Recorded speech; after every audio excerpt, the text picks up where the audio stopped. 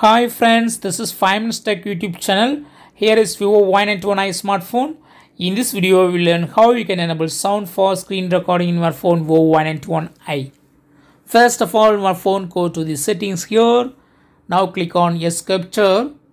Click on S Capture.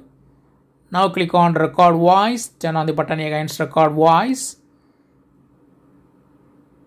Now go to bottom of your screen and click on S Capture. Click on record screen. Yes, screen recording started. Now all sounds outside your phone be recorded. Hello, screen recording checking. Screen recording checking. Screen recording is going Screen on. recording checking. Screen recording pages in my checking. Screen recording checking. Screen recording checking. Screen recording checking. Screen recording checking click here for stopping the screen recording and open the file from the notification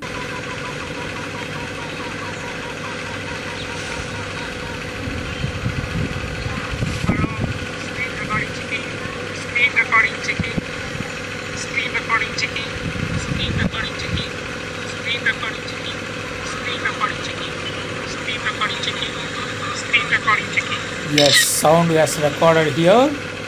This way you can easily enable sound for screen recording your phone one Y91